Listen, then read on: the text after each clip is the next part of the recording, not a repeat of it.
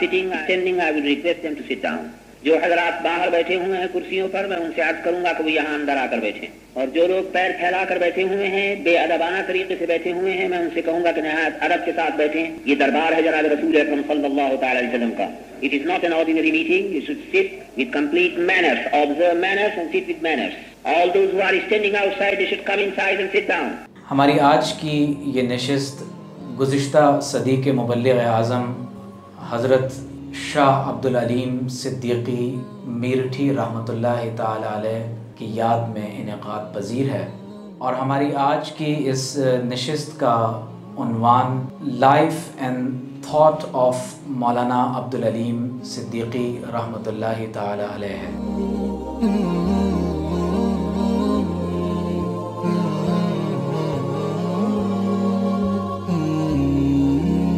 بک القرآن The Miracle of Miracles, which was written by Sheikh Ahmad Deedat Rahmatullah Ta'ala, a very well known scholar of international repute.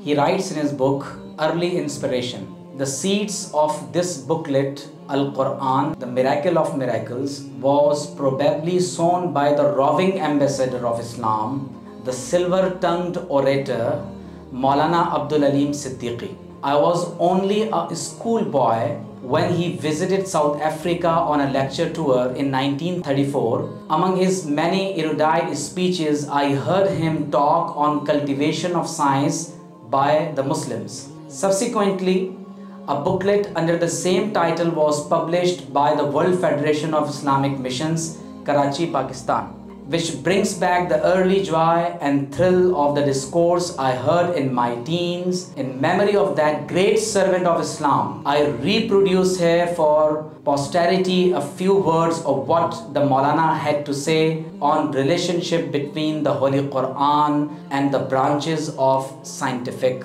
knowledge. I would like uh, to pay tribute and I would like to thank very specially to our Uh, great graduates of Alimia who studied at Alimia at the time when Maulana Fazlur Rahman Al Ansari Rahmatullahi Ta'ala was alive and he taught them.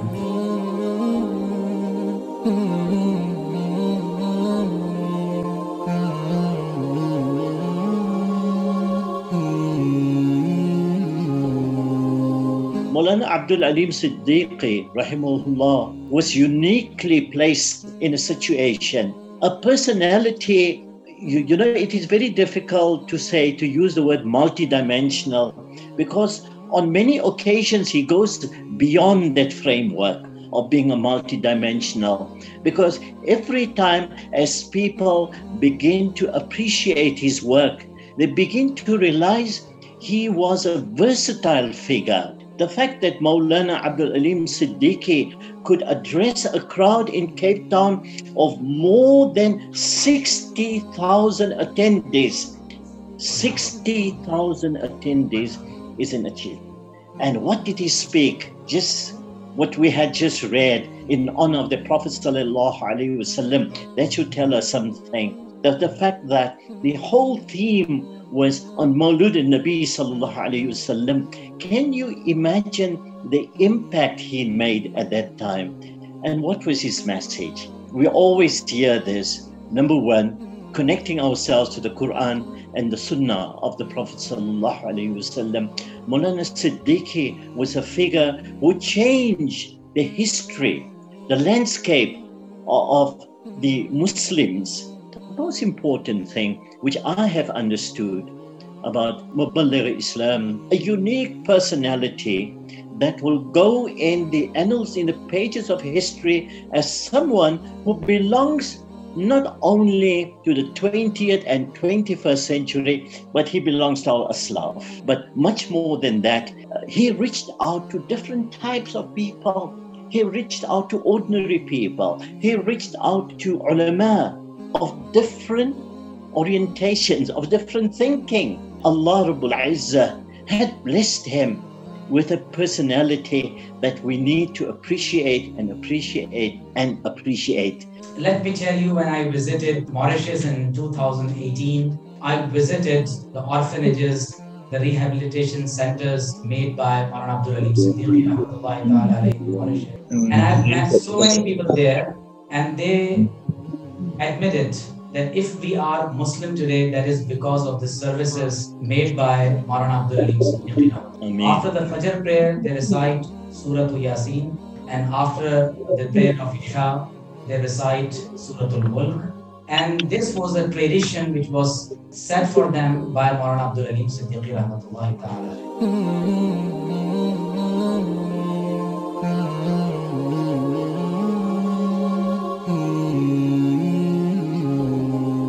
What was your age when you saw Manas Devi? Uh, my age? Yes, when you saw him. Yeah, about uh, 14 years old. He was a very good man. Very well.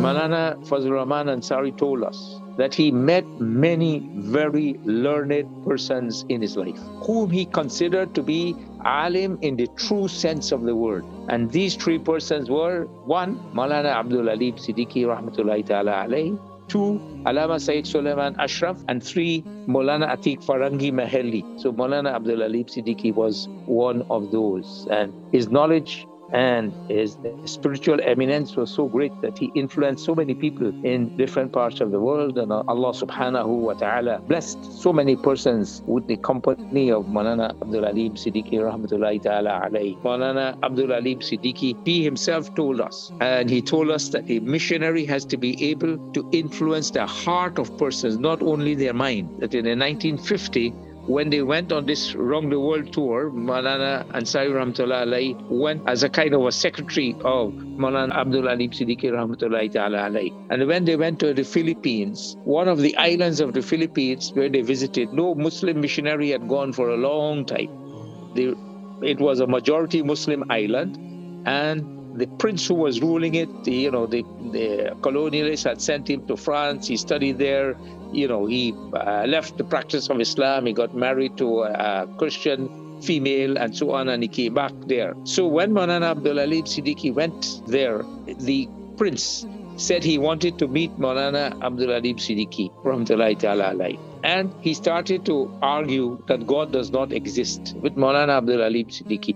And every argument that Maulana Abdul Alim Siddiqui gave him, he is countering with a, uh, an argument until it became near to the time of Salatul Maghrib. And Maulana Ansari Rahmatullahi told us that he whispered to Maulana Abdul Alim Siddiqui that it is almost time for Maghrib. He should go and prepare for Salatul Maghrib. And he, Maulana Ansari Rahmatullahi, will continue the discussion with this prince he said Maulana Abdul Alim Siddiqui turned around and looked at him, and he will never forget that look as long as he lives. Maulana Abdul Alim Siddiqui looked at him, and when he turned around and looked at the prince, the prince shouted, I have seen God, and he fainted. And they performed Salatul Maghrib, and after Salatul Maghrib, the people told Maulana Abdul Alim Siddiqui that this person is still unconscious. So he took some water and sprinkled it on him, and the prince got up, he went home, he broke all the alcohol that he had in his house, and he told his wife that if she does not accept Islam, he will divorce her, and he took the Quran and started going around the island preaching Islam. This was the look of Maulana Abdul Alim Siddiqui rahmatullahi ta'ala alayhi. Allah has created us to represent him here. And we should try our best to do our bit so that when we will leave, we would have left something of benefit to those who would follow us. And this is what Maulana Abdul Alim Siddiqui together with his son-in-law, Dr. Fazlur Rahman Ansari, they were able to pass on. He came and he did so much of Islamic work, so much, went to every mosque and presented Islam and he was able to inspire the young people. And so Islam was really getting more and more popular, if I should use the term. and stronger the Muslims were, their faith was growing strongly. Maulana Abdul Alim Siddiqui and his son-in-law, Dr. Fazlur Rahman Sari, they went, I don't think they were going to collect money or anything. They went to spread the message of Islam. And that was very important. And they were very successful because a lot of people came from the teachings that they got because of the visit of Maulana Abdul Siddiqui in Trinidad. He was able to go and teach the people so much that it was surprising. I thank Allah for one important thing, and that is Maulana Abdul Alim Siddiqui and Dr. Fazlur Rahman Ansari gave the message to the people all over the world and had them practicing Islam, not only believing, but had them practicing Islam in their time. And that was important.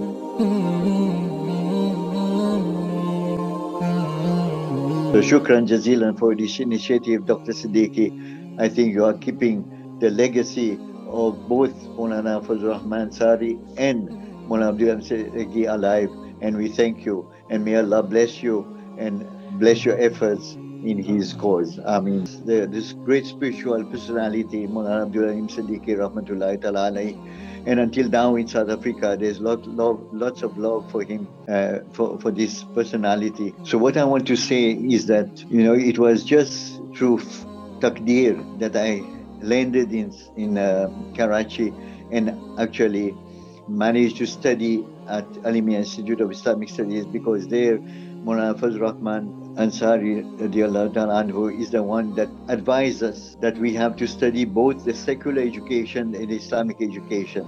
And I completed my studies at Alimia Institute of Islamic Studies. I told my father, I, I told him that I cannot return home because I have not mastered Arabic. I cannot speak Arabic. I know book, bookish Arabic, but I cannot speak Arabic.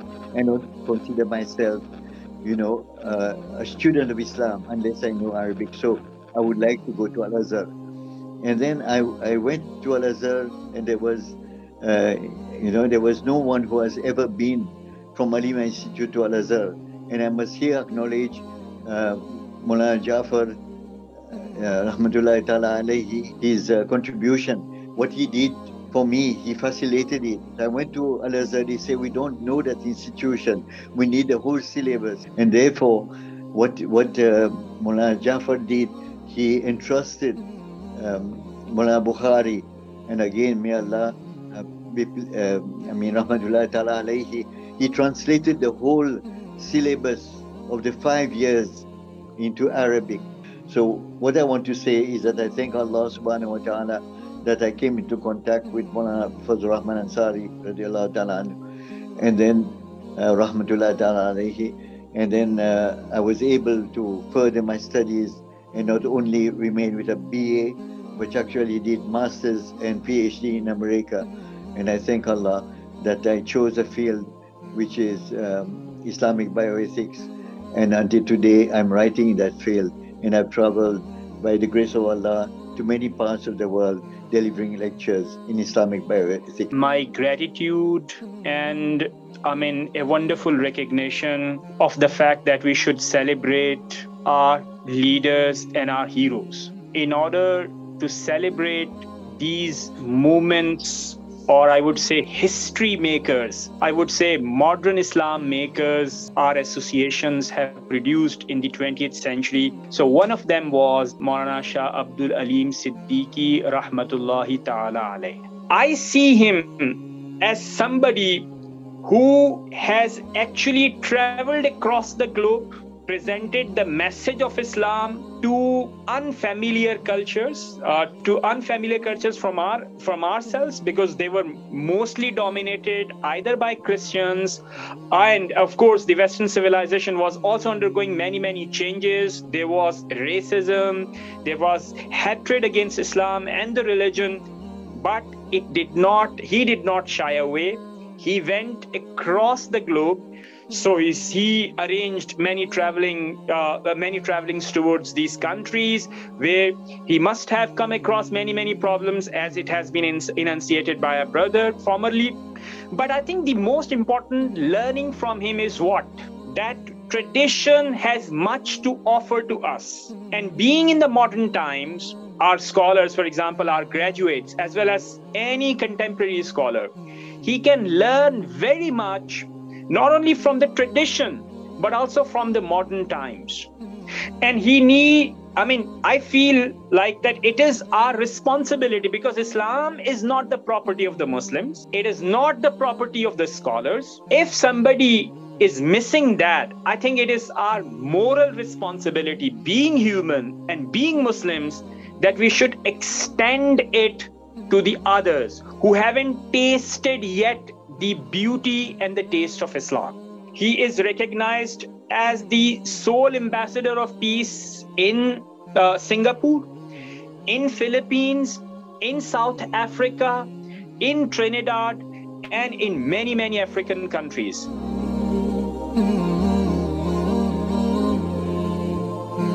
شاہ عبد العلیم صدیقی رحمۃ اللہ تعالی علیہ کی زندگی کا جب ہم جائزہ لیتے ہیں، تو سب سے بڑی بات جو ہمیں نظر آتی ہے وہ یہ ہے کہ انہوں نے کس انداز سے تبلیغ دین کا کام سر انجام دیا۔ شاہ عبد العلیم صدیقی رحمۃ اللہ تعالی علیہ نے پوری دنیا کا چکر تین مرتبہ مکمل کیا اور صرف اور صرف تبلیغ دین کے لیے۔ ہم لوگ جب علم دین سیکھ لیتے ہیں، فراغت حاصل کر لیتے ہیں ظاہری صورت میں جب مدرسہ سے، تو اس کے بعد ہم تبلیغ کی طرف ہمارا رجحان جو ہوتا ہے وہ بہت کم ہوتا ہے۔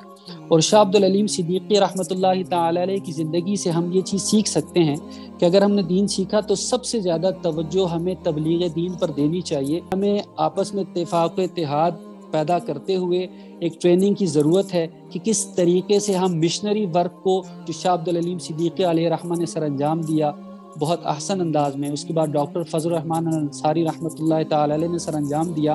ہم ان کے نقش قدم پر کس انداز سے بہتر طریقے سے چل سکتے ہیں؟ حضرت مولانا عامر بیگ صاحب ملاوی میں ہمارے ساتھ اکٹھے تھے اور الحمدللہ وہ ہمارا ہاں، پاکستان سے باہر پہلا قدم تھا کہ جو ہم نے ڈاکٹر فضل الرحمٰن انصاری صاحب اور مولانا عبدالعلیم صدیقی رحمۃ اللہ علیہ ان کے نقش قدم پر چلتے ہوئے رب العزت نے ہمیں توفیق عطا فرمائی۔ الحمدللہ، ہمیں اچھا کام کرنے کا موقع ملا۔ ملا۔ اس کے بعد پھر موزمبک میں بھی، الحمدللہ، مولانا عبدالعلیم صدیقی رحمۃ اللہ علیہ کے جو مریدین میں سے تھے، متعلقین تھے، ان کے ساتھ بھی تقریباً پورے موزمبیک میں ہمیں موقع ملا اس بات کا اور کافی وہاں پر بھی مراکز وغیرہ، الحمدللہ، جو اس وقت بھی کام کر رہے ہیں۔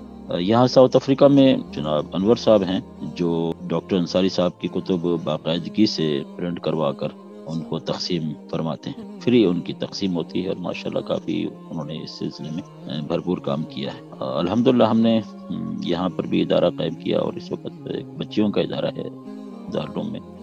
وہاں پر میں دورہ حدیث کی تدریس کے فرائض انجام دے رہا ہوں۔ تو الحمدللہ جو بھی ٹوٹی پھوٹی کوششیں ہیں ان بزرگوں کے نقش قدم پر چلتے ہوئے ہم سر انجام دے رہے ہیں۔ اللہ کی بارگاہ میں دعا ہے کہ اللہ تعالیٰ قبول و منظور فرمائے۔ ڈاکٹر فضل الرحمن انصاری علیہ رحمٰن ایک بڑا خوبصورت جملہ وہ بیان کیا تھا اور آپ نے فرمایا تھا کہ لفظ عبد جو ہے، عبد العلیم کا، یہ جو عبد ہے، یہ جوہر ہے جو کہ عمل کا حامل ہے یعنی عمل کی طرف اشارہ کر رہا ہوتا ہے، عبدیت اس میں موجود ہے۔ اور فرماتے تھے کہ اس میں جو علیم ہے، یہ فیضان علمی ہے جو اللہ کی جناب سے ان کو عطا کیا ٹھیک ہے نا؟ تو فرماتے ہیں یہ عبد العلیم جو نام رکھا گیا، اسی کے اندر کئی برکتیں پوشیدہ تھیں۔ Religion in south east Asia کے اندر ایک انسائکلوپیڈیا تھا encyclopedia of faith and cultures اس کے رائٹر تھے یا جنہوں نے اس کو لکھا تھا، وہ جوڈیس میتھیو ایتھیل یہ ایک eh, کرسچن تھے۔ تو انہوں نے حضرت کی سوانح حیات پہ کچھ باتیں لکھی اور اس میں اس نے اس بات کی تصدیق اپنی جو معلومات تھی اس کی روشنی میں کی کہ حضرت نے چار سال اور دس ماہ کی عمر میں حفظ قرآن کو مکمل کر لیا تھا۔ پوری دنیا کے کم و بیش ممالک کے تین چکر تھے جو حضرت نے مکمل فرمائے تھے۔ حضرت کو جو ٹائٹل ملا وہ روونگ ایمبیسیڈر آف پیس یہ آپ کو ٹائٹل دیا گیا۔ یعنی جس نے پوری دنیا کی سیاحت کی دین اسلام کے لیے اور پھر امن کا پیغام آ دیا۔ 1949 کے اندر ایک انٹر ریلیجیس آرگنائزیشن قائم کی سنگاپور کے اندر۔ اور اس کی جو سب سے مزے کی بات تھی وہ یہ تھی کہ یہ جو آرگنائزیشن حضرت نے وہاں پہ اسٹیبلش کی اس میں جو لوگ ساتھ تھے اس میں جو الفاظ ہمیں مختلف کتابوں میں ملتے ہیں وہ یہ ہے کہ with the total support of the British colonial government یعنی اس گورنمنٹ کو بھی آپ نے اعتماد میں لیا اس کی مدد سے اس کام کو کیا اور جن لوگوں کو اپنے ساتھ ملایا وہ کون تھے؟ And leaders of the Hindu Jewish Zoroastrians Christian Sikh Buddhist and Muslim leaders یعنی کمال یہ تھا کہ آپ نے تمام مذاہب کے لوگوں کو اپنے ساتھ ملایا تھا اور وہاں پر ایک انٹر ریلیجیس آرگنائزیشن کا قیام کیا تھا۔ تو ڈیفینیٹلی کیونکہ بنانے والے آپ تھے، تو آپ کی سپرویژن میں وہ کام ہو جس کے نتائج ہم دیکھ رہے ہیں کہ آج وہاں پہ الحمدللہ مسلمان موجود ہیں اور کسی نہ حد، کسی حد تک اسلامی تعلیمات عام ہو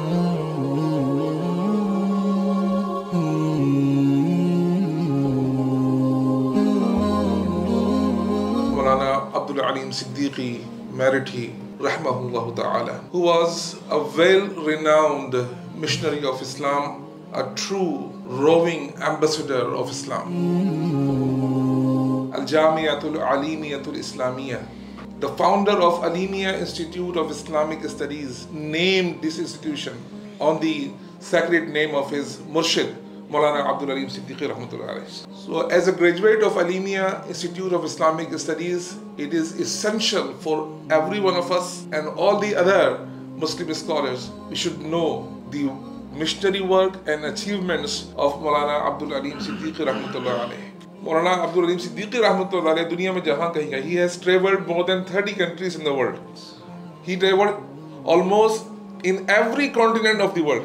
دنیا کوئی ایسا بر اعظم نہیں جس میں آپ نے سفر نہ کیا ہو۔ لیکن آپ جہاں کہیں گئے، وہاں پر آپ نے اپنی تبلیغ کے ذریعے، اپنی خدمات کے ذریعے گہرے نقوص چھوڑے۔ اس کی وجہ کیا ہے؟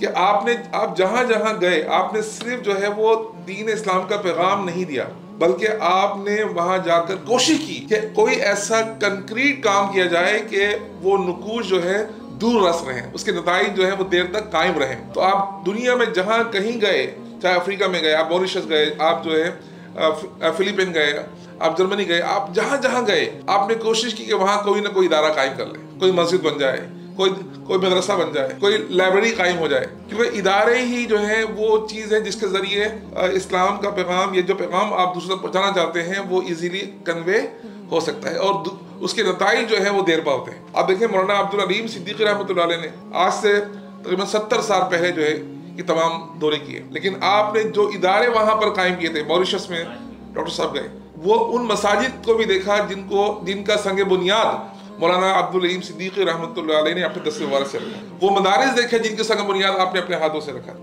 آج آپ موریشس چلے جائیں آپ آج جرمنی چلے جائیں، آج آپ موزمبک چلے جائیں، ساؤتھ افریقہ چلے جائیں، آپ کو بے شمار ایسے ادارے ملیں گے جو مولانا عبدالعیم صدیقی رحمۃ اللہ علیہ نے قائم کیا اور آج بھی وہ روا دوا ہے So, on behalf of uh, City of Knowledge Islamic Research Institute, I thank you, all of them.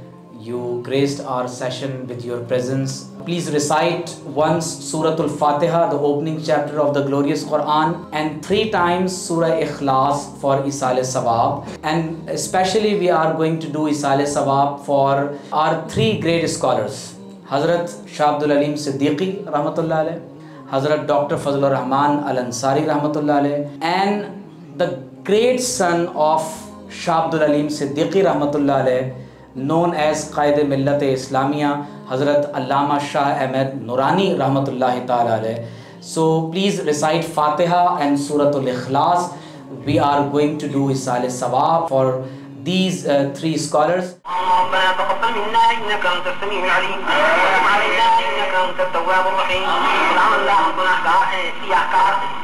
آج تیرے دربار کے اندر حاضر ہو کر تیری مفرت کے امیدوار ہیں خداوندہ کی توبہ کو قبول فرما یا اللہ، ہمیں سچے دل کی توبہ کی توفیق عطا فرما یا اللہ، ہم سے سچے دل سے تیرے سامنے توبہ کرتے ہیں۔ اپنے گناہوں کی معافی مانگتے ہیں۔ یا ہاں ہمارے گناہوں کو بخش دے۔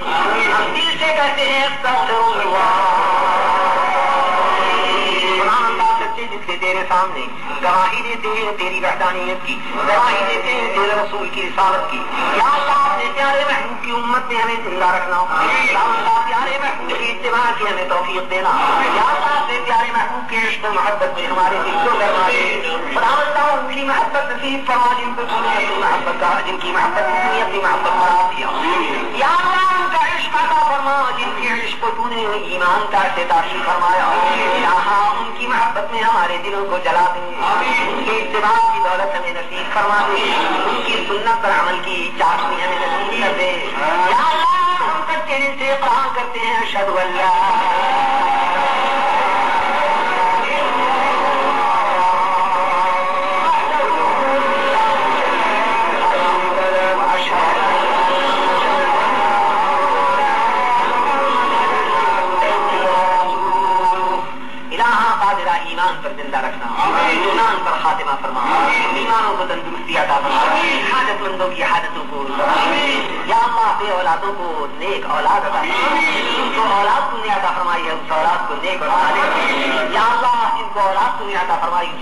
نیک اور صالح خدا ہم کو بھی نیکی کی توفیق دے، ہماری اولاد کو بھی نیکی کی توفیق دے۔ یا اللہ، حضرت ابراہیم نے بھی ضروریت صالحہ مانگی، ہم نے اس سے ضروریت صالحہ مانگی کہ ہم کو اولاد دے تندرست اولاد دے، زندہ رہنے والی اولاد دے، نیک اور سارے اولاد دے۔ خدا جو حاجت مند جو بیمار تیرے گناہگار بندے رب العلیم کے پاس آتے ہیں دعا کے لیے الہا قادرہ تو ان کی حاجتوں کو پورا فرماؤ۔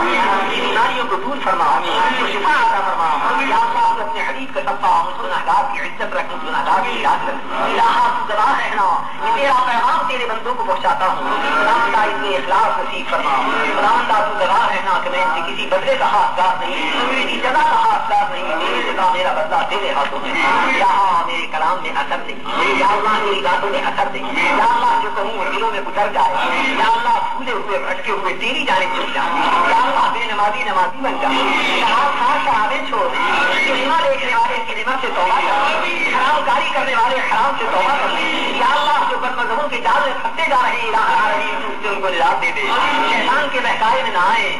العالمین، اپنے پیارے محبوب کی پوری بھیڑوں کو، پورے گلے کو توفیق عطا فرما، جو یکجا اچھا رہے۔ بھیڑیوں کا شکار نہ ہو جائے۔ فنا تقبل منا وعافنا وعف عنا بسر الطار الفاتحة